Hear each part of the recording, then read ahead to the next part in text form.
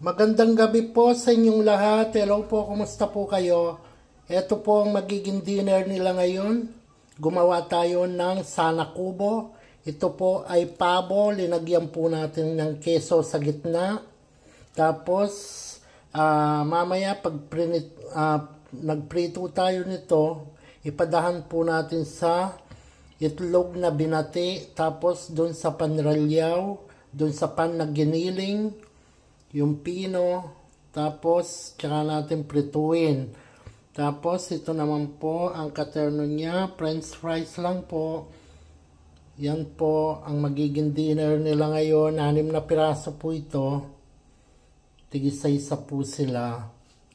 Yan po ang magiging dinner nila. Sana kubo po ang tawag dito. Ganito po ang pagkagawa niyan. Yan po. Tapos may keso sa gitna.